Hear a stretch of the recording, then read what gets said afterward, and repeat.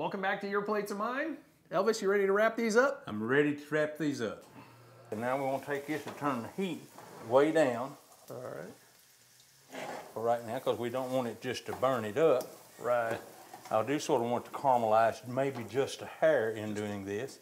But then after we get this about to that consistency, Uh-huh. we want to take and uh, we're going to take some some ketchup, and this is going to be somewhere in the neighborhood of about two or two and a half cups. Two to two and a half cups of ketchup.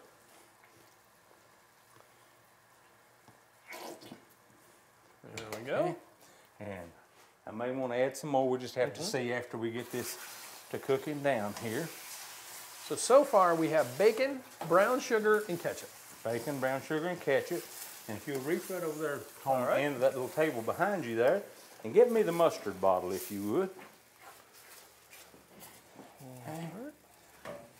See how that sort of caramelized now and how that some of that's a little bit darker than the rest Oh, of it. yeah, it gives it a nice color there. Right. And uh, the bacon that I use is usually a smoke cured bacon. All right. And uh, I like that smokiness to the flavor as well. And then you want to really measure out your mustard. It's really important. You go Okay. One, two. About like that. About, about, a- about about- two second squirt. about two seconds squirt. there. And uh, to be honest with you, I don't know that I've ever Yeah. really measured that. You know, Is, is that metric or Uh, uh, metric, me- yeah, that's metric, yeah.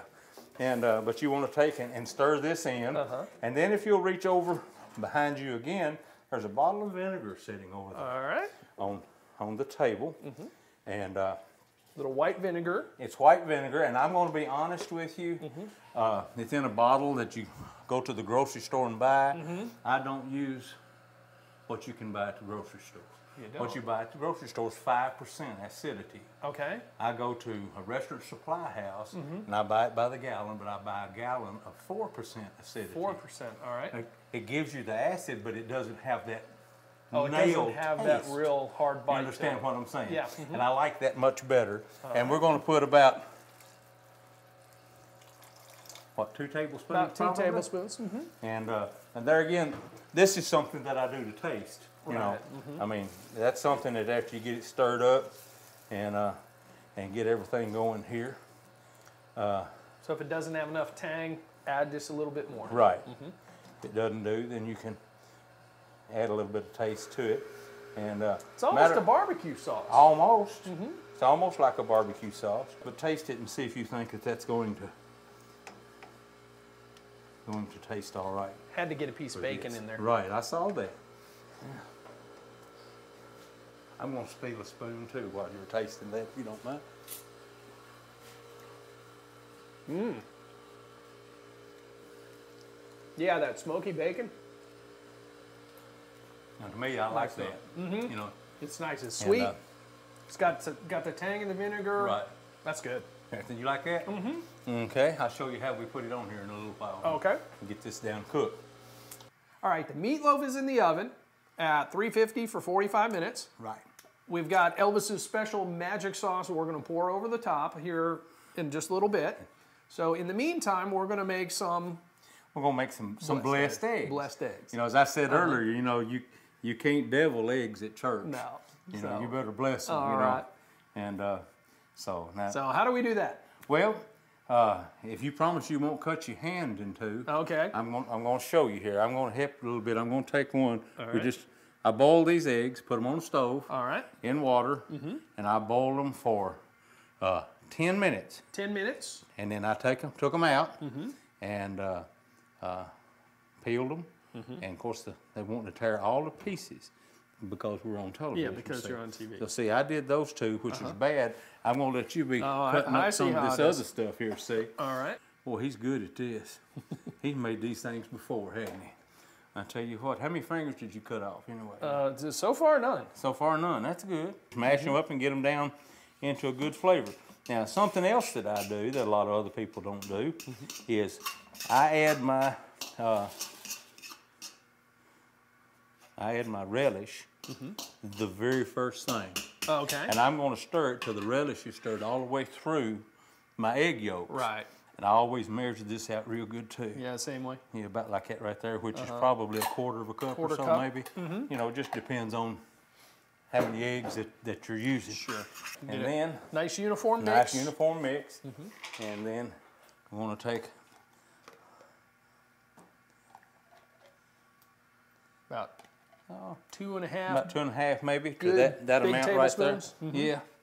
And we'll take it, start mixing this all up together good. Mm-hmm. Got to get it to a little bit of a creamy consistency, but remember we're going to add the vinegar to it. Right. So that's going to thin it up just a little bit more. so right. You don't want to go and get it too thin.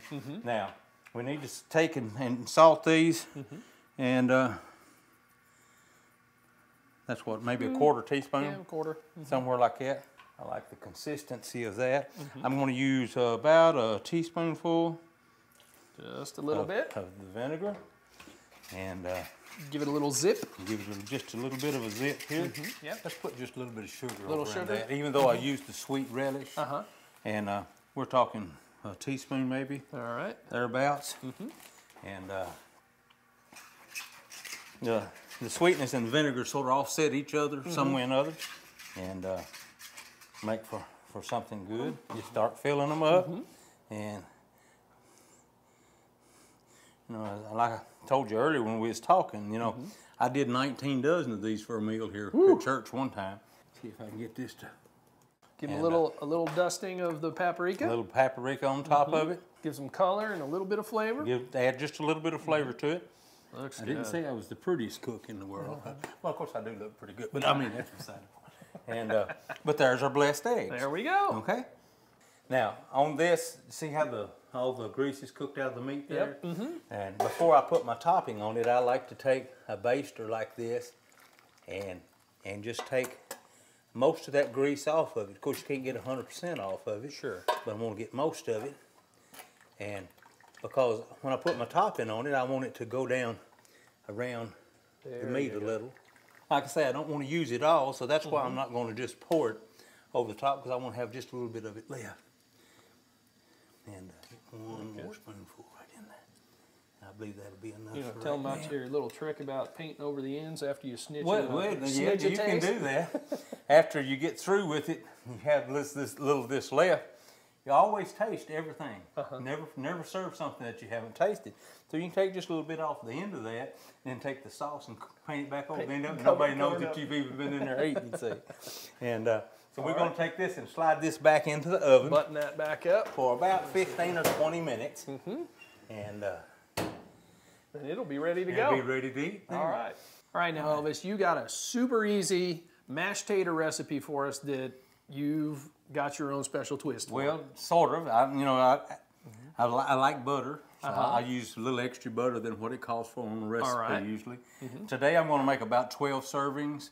All right. And uh, I'm, I'm looking at about uh, four cups of water, and I've got a full stick of butter over in that. All right. And uh, I've got a, a cup and a half of milk that I brought to a boil on the stove. Right. And then we're going to take and just add uh, the instant potatoes. Now you mm-hmm. can make potatoes, and, and, and that's fine to do so. Mm-hmm. Hey, well, before I do that, let's do this right here. Mm-hmm. This is white pepper.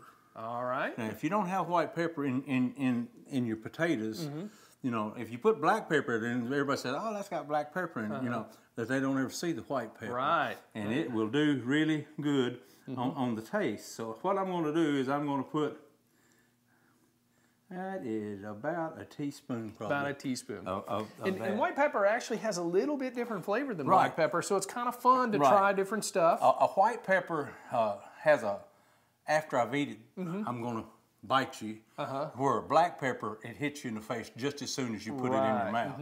So it has a different. And I'm also I'd like to use somewhere in the neighborhood of about uh, probably uh, two teaspoons Mm-hmm. of salt. All right. And I'm gonna go in and put this in the hot water so that it'll dissolve out good before There you that I put the potatoes in it. Mm-hmm. And for salt, you know, you gotta you have gotta just a give little bit extra extra, you right know. And uh, so I'm gonna take and just sort of stir that up a little mm-hmm. bit, get it stirred around, mm-hmm.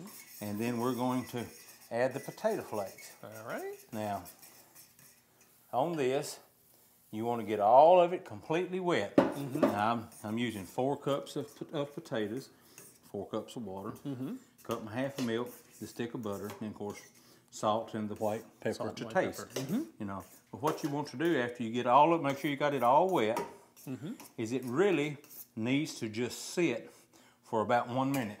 But the secret to a good instant potato is two things. It's the mm-hmm. white pepper, White pepper. and it's having enough about you to let that set Just for a minute. leave it alone. Uh-huh. Just leave it alone and let it mm-hmm. do its thing. All right. Because it's soaking up the moistures and the flavors, mm-hmm. and it'll swell up to a certain point, and then you can take your, your fork and, and fluff it up mm-hmm. and make it do what it needs to do Okay. to, to be able to do that. All right, everything smells amazing. I can't wait to have some of this. We've got your fantastic meatloaf. We've got the green beans. We got mashed potatoes. We got blessed eggs, and I can't wait to have some. I so, see. all right, why don't you serve us up a little bit? All right, I will do that.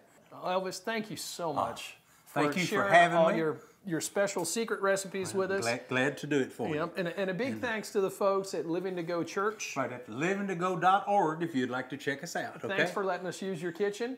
And if you've got a great recipe you'd like to share with us, check us out on our website. It's yourplatesormine.net. Who knows? We may come cook with you. Should we dig in? Let's dig in and Let's eat. dig in. Thank you. Any relation? Two. Okay. Uh, no, it's named after my dad. Actually. Don't go away. We'll be right back with. with take two. Take two.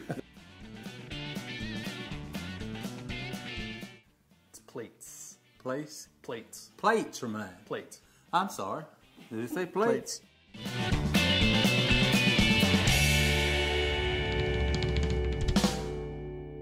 Elvis has left the building.